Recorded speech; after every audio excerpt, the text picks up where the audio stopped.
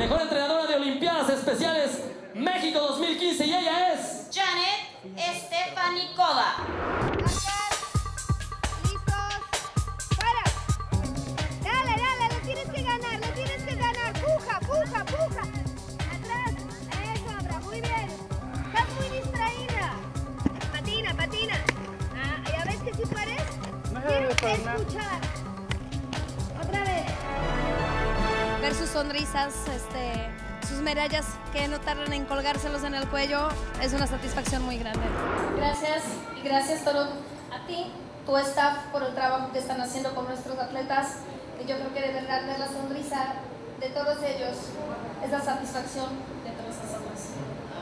Muchas gracias.